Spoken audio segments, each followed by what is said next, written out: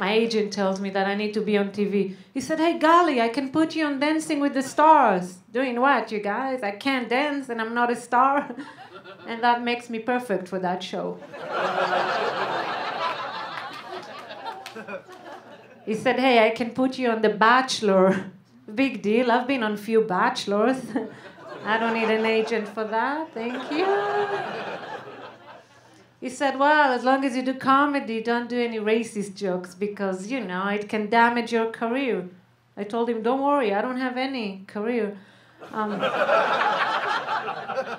I do have friends. Uh, my best friends, seriously, they're a married couple. The wife is from India and her husband is from Pakistan. I told them, Wow, you guys are a match made in heaven. Indian and Pakistan, that's like half 7 Eleven, half 9 11. Okay, I lost 50% of you. Thank you. The other 80% are still with me. Love you guys. Racist over there.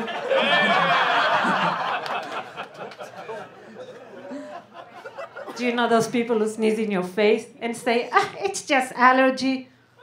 I punch them in the face and say, ah, it's just anger.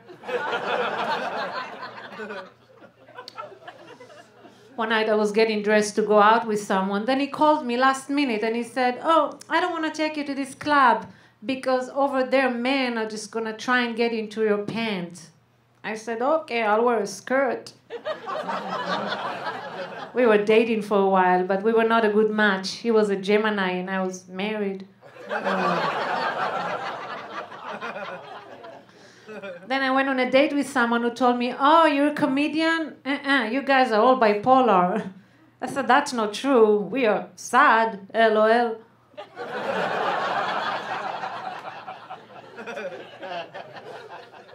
I was dating a guy who called me a cougar. Yeah, so rude. Those teenagers. Oh my God. no respect.